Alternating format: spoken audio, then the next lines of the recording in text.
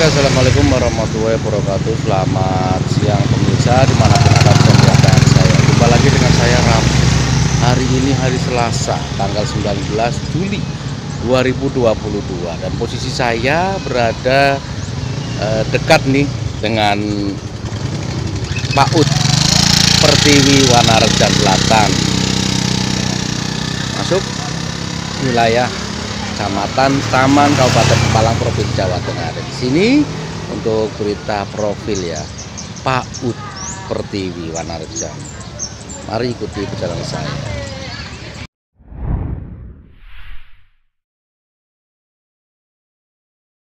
Eh, iya, Ade senang Ade eh, sekolah di TK Pertiwi. Ade senang ya? Iya. Senang. Senang ya. Ini dengan adik siapa? Island Adik Island dan satunya? Oke, senang ya. Oke, makasih adik. Assalamualaikum Ibu. Mau tanya sedikit nih Ibu. Maaf ini saya eh, tanya ke Ibu. Ini putrinya Ibu. ya satu yang satu tetangga Oh iya.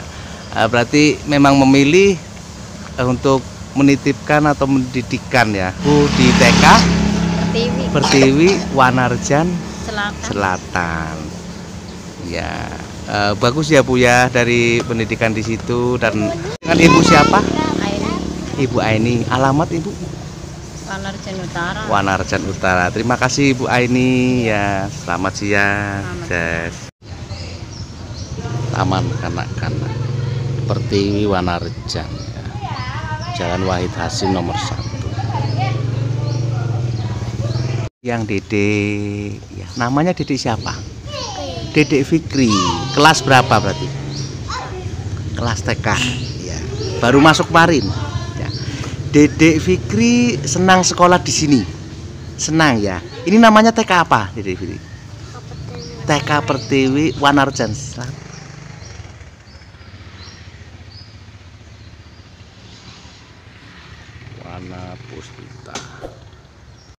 Bermain untuk siswa-siswi yang dididik di sini. TK Pertiwi Wanarjan. Nah, ini juga ini ya. Ini juga ini. Hmm, ini juga. Ini. Usia dini bahwa ada tanda-tanda rambu-rambu lalu lintas ini seperti ini pak yang Iya. biasa anak di lihat di jalan mungkin pas pergi sama orang tua ini kan ada lampu merah merah itu tandanya berhenti kuning hati-hati hijau bisa jalan itu menan- mengenalkan ke anak-anak usia dini untuk mematuhi rambu-rambu lalu lintas seperti dilarang parkir dilarang berhenti dan lain sebagainya Ya. Ini Ibu, saya wawancaranya atau ngobrolnya dengan Ibu nama siapa? Sekalian alat di titelnya juga Bu saat disampaikan dan sebagai Ibu atau jabatan Ibu di sini di TK Pertiwi Wanarjan Selatan. Assalamualaikum warahmatullahi wabarakatuh. Saya Bu Wiji Ayu Suparinglah, SPD AUD. Saya berpendidikan S1 PAUD Pak dari Universitas Terbuka. Ya, berarti di sini juga sebagai tenaga pendidik ya saya Bu ya. pendidik, saya sebagai guru, saya mengajar di kelompok B1. Oke, terima kasih Ibu Ayu dan dilanjutkan lagi bisa Ibu Ayu.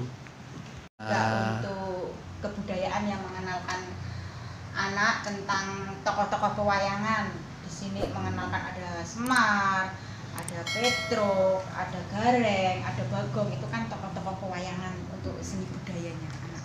berarti untuk tujuannya Ibu Ini untuk berarti anak-anak untuk mencintai kebudayaannya sendiri, Pak. Hmm. Berarti kita juga nanti perkenalkan lewat ini bukan hanya kita lisan tapi lewat tepuk kita juga ada tepuk tepuk punokawan jadi anak-anak secara tidak langsung bisa cepat menghafal ke tokoh empat punakawan ini.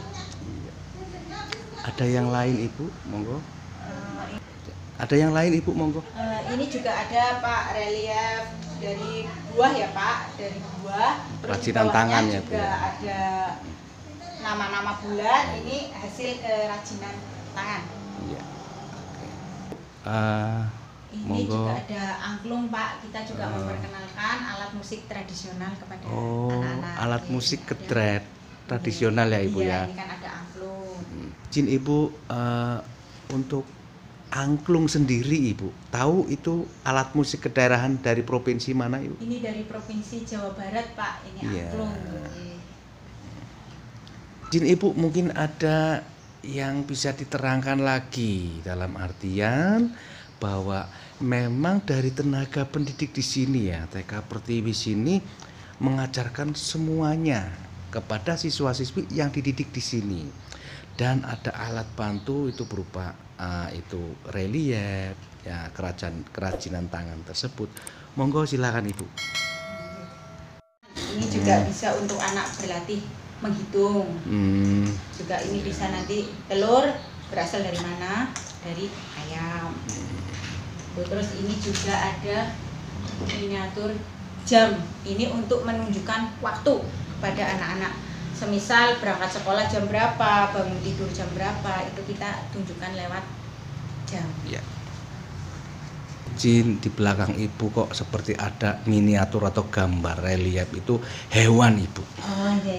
Ini ada berbagai binatang, Pak. Ini untuk memperkenalkan kepada anak-anak bermacam-macam binatang, jenis-jenis binatang. Ada burung, ada gajah, ada ular. Terus di sini juga bawahnya ada nama hari. Ini juga memperkenalkan anak untuk menghafal nama-nama hari. Ibu mungkin ada lagi untuk alat peraga ataupun alat bantu untuk uh, mendidik ya Ah, kreativitas anak ibu. Eh, mohon maaf, di sini Iya. ada bongkar pasang ya Pak atau bombik ini Iya. untuk melatih kreativitas anak. Jadi anak bisa menyusun sesuai dengan keinginannya. Bisa berbentuk mobil, jembatan atau bangunan apa pun. Iya, dalam artian menggali imajinasi ya J, ibu ya. Untuk men- me- Langsung menerapkan langsung ya. anak, serta Iya. melatih motorik kasarnya juga. Oke, terima kasih Ibu. Ada lagi Ibu silakan. Ada lagi Ibu yang diajarkan di sini, diterapkan di sini hal-hal atau pengetahuan kepada siswa-siswi yang ada di sini, Ibu. Eh, untuk TK Pertiwi Wanarja kita juga ada kegiatan keagamaan ya Pak seperti Ya. kita pengenalan guru bijaiyah Hmm, praktek sholat praktek wudhu itu setiap hari Sabtu hmm, Jadi isinya. reguler satu minggu sekali. iya itu diisi iya. khusus untuk keagamaan itu hari Sabtu Ya. dan hari Senin setelah upacara anak-anak nanti ada ekstrakurikuler lagi drum band Pak diisi Iya. drum band Ya. Ada lagi Ibu. Terus di sini juga kita sifatnya hanya memperkenalkan saja, memperkenalkan huruf dari A sampai Z. Nanti juga pelan-pelan kita gabungkan pada semester 2 biasanya Pak untuk melatih membaca dan menulis. Terus di sini juga kita mengenalkan angka, angka dan huruf serta merangkai menjadi kata. Terus ada juga untuk kegiatan fisik motoriknya seperti olahraga kita nanti setiap hari Jumat kita olahraga itu ada simpai untuk melatih motorik kasar anak Kan di sini Ibu. Ya. Jadi, itu semua tadi adalah salah satu alat peraga yang ada di TK kami salah satu untuk eh, menumbuhkan minat belajar anak di dalam kelas Ada juga kayaknya tadi ada juga kesenian ya Ibu ya. Eh, iya Pak, itu juga untuk seperti rebana, angklung, itu untuk berarti skill untuk anak-anak menambah minat, pengetahuan kepada seni budaya. Eh, kepada Bapak dan Ibu semuanya, khususnya warga Kelurahan Wanarjan Selatan yang memiliki putra atau putri usia 4 sampai 6 tahun, silahkan daftarkan di TK Pertiwi Wanarjan. Insya Allah kami akan mendidik putra putri Bapak dan Ibu semaksimal mungkin karena di sini juga tenaga pengajarnya sudah S1 semua, S1 PAUD semua Pak. Terima kasih. Iya. Terima kasih Ibu waktunya. Assalamualaikum warahmatullahi wabarakatuh. Perkenalkan saya Novi Pratiwisari, bisa dipanggil dengan Bu Sari. Saya selaku Kepala TK Pertiwi Nerjan, monggo Bapak Ibu yang anaknya berusia 4 sampai 6 tahun bisa mendaftarkan putra-putrinya di TK kami di TK Pertiwi Nerjan. Wassalamualaikum wabarakatuh. Iya. Mungkin ada yang disampaikan lagi Ibu? Sampun. Mungkin ada yang mau sampaikan lagi Ibu? Jangan ragu. Eh, anaknya eh ulang Pak. Ibu? Ragu menitipkan putra-putrinya di TK kami di TK Pertiwi Nerjan. Terima kasih. Wassalamualaikum warahmatullahi wabarakatuh. Oke, Waalaikumsalam warahmatullahi wabarakatuh. Saya wawancara sedikit nih ya dengan beliau Ibu KS di TK Pertiwi Wanarjan Selatan. Ini saya mengutip nih dari yang beliau sampaikan tadi. Promo sedikit nih ya.